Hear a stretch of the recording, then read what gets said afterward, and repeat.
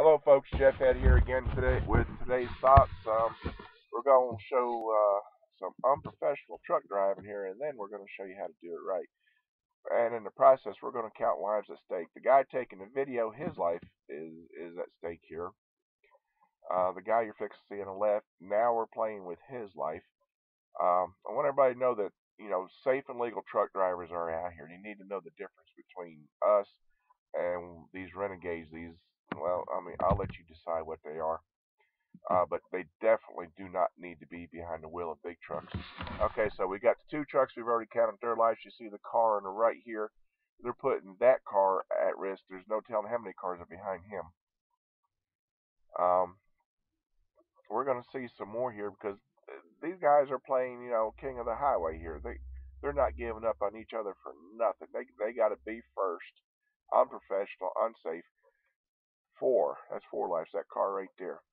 Now let's see how many more we're going to lives we're going to put at stake to prove who's the bigger truck driver here. There's five.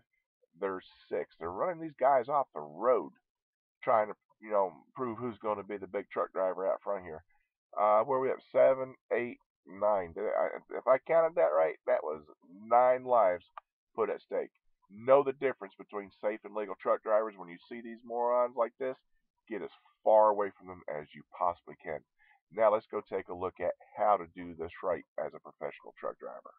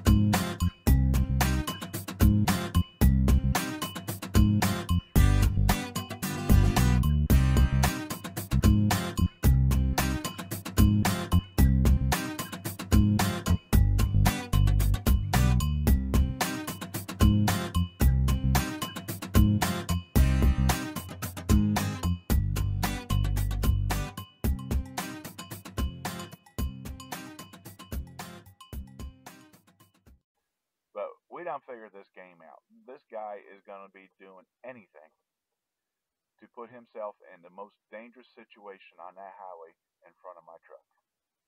There's only one thing left for me to do at this point, and that's to get as far away from this man as I possibly can. So one of the tactics that I use from here is get off at a ramp. But as you can see, this ramp here it comes down around and I would have to U-turn my 18 wheeler at the bottom of that ramp to get back up.